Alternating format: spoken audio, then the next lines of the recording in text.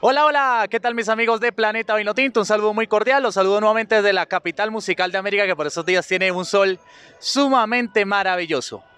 Eh, como siempre, les traemos las mejores sesiones e informaciones del Deportes Tolima aquí en nuestro canal de YouTube Planeta Vinotinto Oficial. Así que recuerden, por favor, comentar, compartir y suscribirse ahí a nuestro canal de YouTube donde les traemos la mejor información del cuadro Deportes Tolima. A propósito del Deportes Tolima, el día viernes en horas de la mañana estuvo realizando su respectiva práctica de trabajos tácticos. Recordemos que el día jueves estuvo realizando la práctica de fútbol con dos novedades que posiblemente se puedan presentar en convocatoria. Una de ellas es el portero Juan Camilo Chaverra, quien estaba poniendo a tono en la parte futbolística para regresar, y Juan Fernando Quesedo, quien viene con una gran mejoría. A continuación, las voces de Brian Hill y Álvaro Meléndez aquí en Planeta Vino Tinto.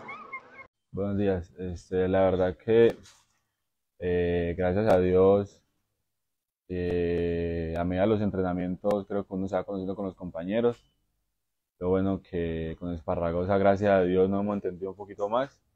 Pero al igual con todos, tenemos esa que ya nos vamos conociendo con cualquier movimiento, con cualquier gesto.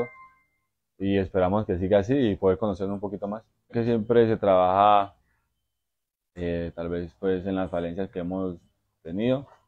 Se trabaja en eso para mejorarlas y esperamos de local siempre sacar un buen resultado y esperamos poder dejar atrás ese resultado anterior que fue contra Águilas de Pues lo que no ha hecho para todos los partidos, que es la intensidad, saber manejar los ritmos del partido, al igual que pues Millonario, un equipo que juega muy bien al balón.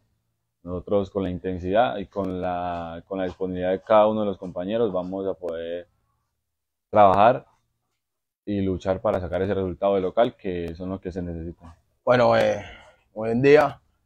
Bueno, primero que todo, eh, lo personal me sentí muy contento.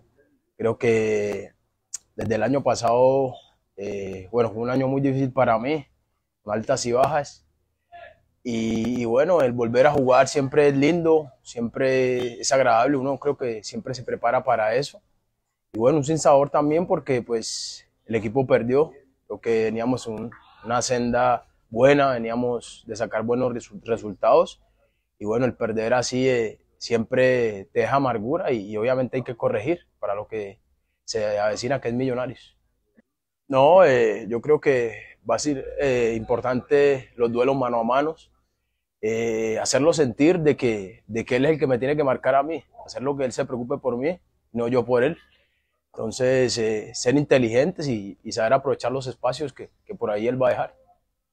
Sí, eh, uno siempre viene acá con, grandes expectativas, trabaja siempre en posa de eso y bueno, siempre un gol eh, es también confianza para uno y saber de que uno por ahí está haciendo las cosas bien. es mucha, mucha confianza que te da y, saber de que, que, cada minuto, cada cinco, cada diez, lo que el entrenador siempre me, me dé, siempre trabajo para, para dar lo mejor para el equipo.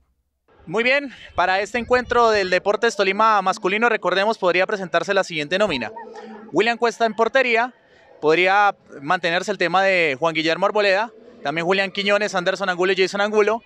Habría un cambio por las molestias físicas de Juan Manuel Valencia, estaría Cristian Trujillo con el señor Carlos Esparragosa y se armaría una línea de tres volantes ofensivos, Guzmán por el centro, Meléndez por la derecha, Lucumí por la izquierda y en punta Brian Gil. ¿Cuál podría ser la única variante? Por lo pronto, que saliera Gil del once titular, cosa que pues por el nivel futbolístico digamos que no se tiene en cuenta ya que Brian Gil lleva anotando dos goles en tres partidos y podría ingresar Juan Fernando Caicedo.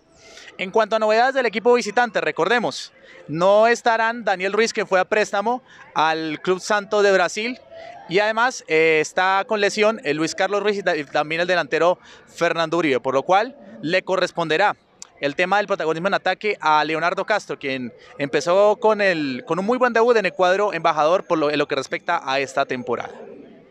Ahora vamos a proceder a las novedades del deporte Tolima femenino. Recordemos que tenía el partido frente a Atlético Nacional el lunes a las 4 y 10 de la tarde, pero por eh, temas logísticos, ya estaremos comentando más adelante, no se, presentará, no se presentará este partido. Así que vamos con Juan José López, quien estuvo hablando con Jacqueline Apraes, la lateral derecha de muy buena actuación frente a Junior de Barranquilla, a continuación en este informe planetario.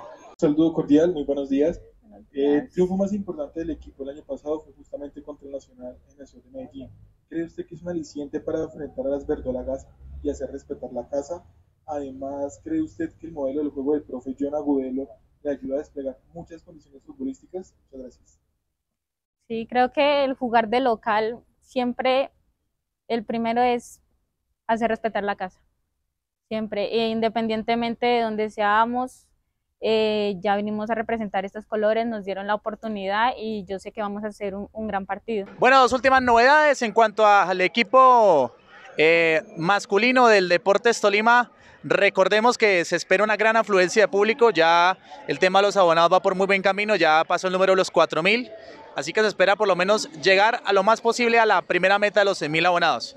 En cuanto al equipo visitante, eh, dos novedades en convocatoria, Ricardo Rosales y lo que les contamos acerca de Juan Carlos Pereira, ¿no? que puede ser otra novedad. Además, la lesión de Israel Alba, lateral derecho del conjunto embajador. Se espera una gran afluencia de público, no solamente local, sino visitante. Están dispuestas eh, 2.000 boletas para el conjunto albiazul. Se espera un, total de 2.500 personas en el Gabriel Camargo Salamanca que llamamos en nuestras transmisiones. Y por último, Yeldris Guaycará, eh, volante eh, colombo-venezolana del Deportes Tolima sufrió una lesión del ligamento cruzado anterior, por lo cual se pierde la siguiente temporada. Así que a estar al pendientes de, los, las novedades tanto del Deportes Tolima masculino como del Deportes Tolima femenino. Como siempre, su amigo y servidor Juan David Alvis, el emperador del gol, reportándose aquí desde la capital musical de América. Comenten, compartan, suscríbanse a nuestro canal de YouTube Planeta Vinotinto Oficial, donde les traemos la mejor información del Deportes Tolima. Seguiremos trayendo más informes. Chau, chau, desde la capital musical de América.